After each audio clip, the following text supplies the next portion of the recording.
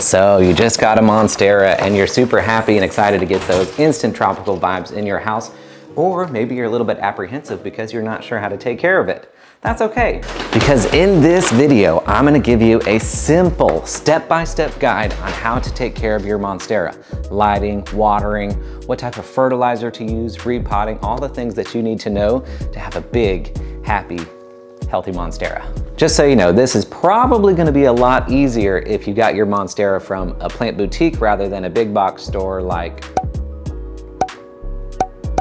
now, the first thing you're gonna wanna do when you get your Monstera home is clean the leaves. You don't wanna bring any pests home from the plant shop. That's where a lot of your pests are gonna be coming from.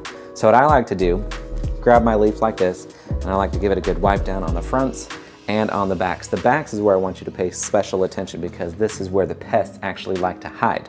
Throw on your favorite pest control too if you have one. That'll give an extra little step of protection and make your leaves look nice and shiny.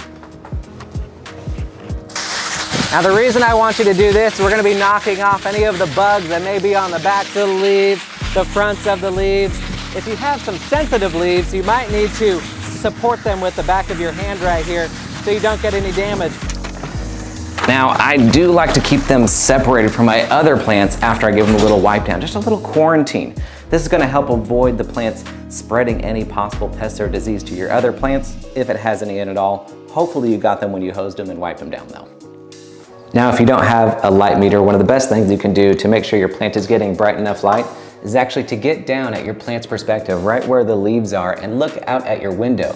The best thing you want to achieve is a wide view of the sky. The more blue you can actually see from your plant's perspective, the better. That's going to be brighter light. You know, where Monstera grow naturally outside like we were just showing, they have a wide view of the canopy and they get the light from those little breaks in the canopy. But inside we only have one break in our canopy, the canopy being the roof of your house, and that is the old window. So we wanna make sure we have unobstructed view of the sky for our Monstera. Monstera love bright light. There's nothing more important to a Monstera than really, really bright light. In nature, they actually grow in full shade, climbing up trees kind of like this one, which measures several hundred to around a thousand foot candles if you're using your light meter. Uh, now it looks like my Monstera isn't going to be getting enough light here to grow just from the natural light. So I'm actually going to be using this grow light, which is a Soltech Solutions Vita grow bulb, just in my little stand right here. I'm gonna keep it on there for 12 hours per day, and I'm gonna make sure it's about eh, 24 inches away or so.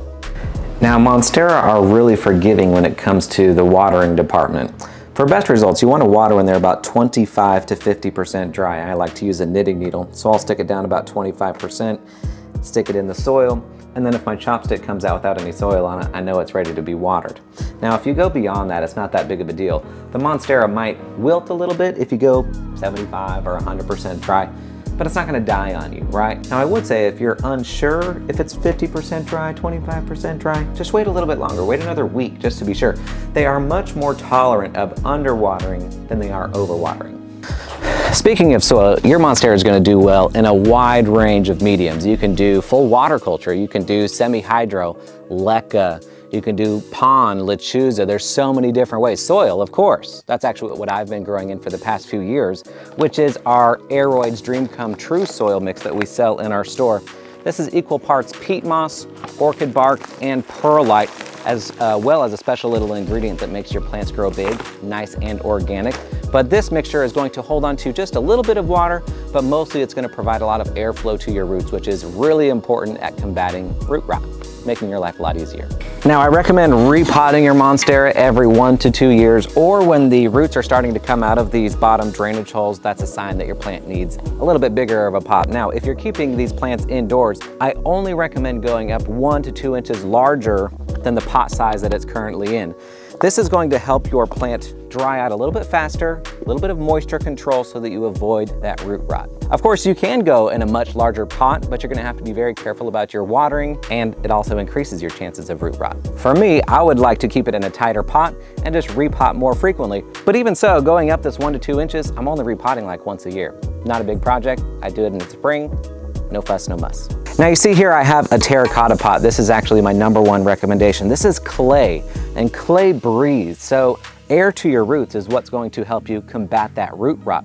You totally can use a plastic pot or whatever you want, sealed ceramic. I like to use this for best results because again, you're surrounding the root ball with air, which is going to help you combat that root rot, the number one reason people don't do well with their plants.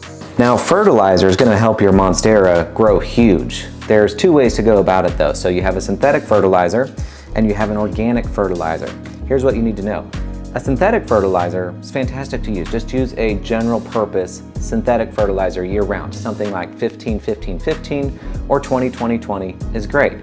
The thing to keep in mind, however, is that if you're only using natural light to grow your Monstera and you fertilize too heavily going into the fall and the winter months that are shorter days, you risk burning the leaves of your Monstera. This is because light is what processes that fertilizer, but in those shorter days of the fall and the winter months, there may not be enough time for your plant to process all of the synthetic fertilizer in the soil so it can build up and you can burn the leaves of your plant. Alternatively, you can use an organic fertilizer. The good thing is you can use these organic fertilizers on all of your plants and they're not gonna burn your plants. So I like to use them year round. Now, Monstera get really, really big. So now that you know how to grow them really, really big, eventually you're gonna have to prune them down because otherwise they'll eat you out of house and home. They get massive, like I said. And there's two really good ways to propagate your Monstera, or at least ways that I really like to propagate my Monstera. And the first one is going to be just by taking a cutting. Now, you don't have to save any of the cuttings. You can just prune it wherever you want. If it's getting too big somewhere, just cut it down. Cut wherever you want, doesn't matter. I like to do this project in the spring, whether I'm just cutting it down without propagating it or if I'm going to propagate it. So if you want to either increase the size of your collection, AKA have more Monsteras, or maybe you want to share one with a friend, what I want you to do is actually find a node on the plant right about here, and we're gonna take that cutting and we're gonna put it in some water.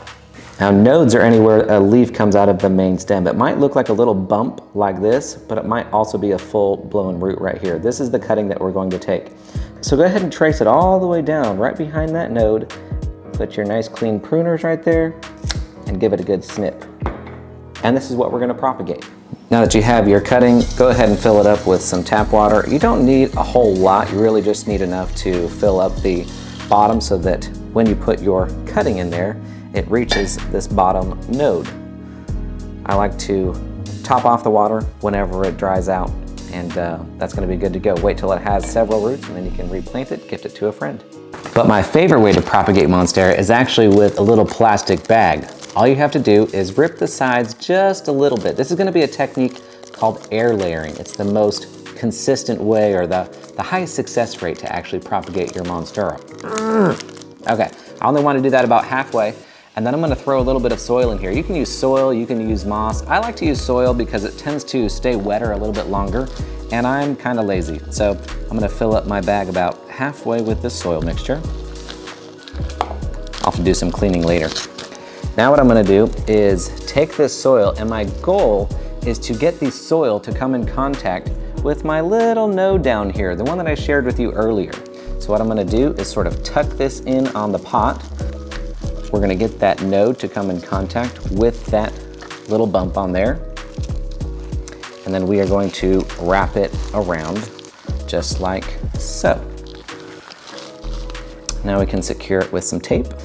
Now, the great thing about air layering is that you don't have to actually cut it away from the mother plant. So you can use the energy of the entire big root system and all the leaves to actually push energy into growing these roots for you. Whereas when you take a cutting, it's kind of on its own. So that's, I think, why this has a much higher success rate than just like a water propagation. You're not cutting it away from the plant. There's nothing shocking to the plant when you take these types of uh, air layers because you're not making any cuts. There's nothing different for it. It's just growing roots because it's coming in contact with water. So what I like to do now is I like to just sit and wait. You can hide this behind your pot a little bit, maybe turn it one way so people don't see it if that bothers you. But keep your soil damp and pretty soon in the next, I don't know, six or eight weeks or so, you're gonna see this bag start to fill out with roots. That's why I actually like to keep it in a clear bag because I like to see those roots form.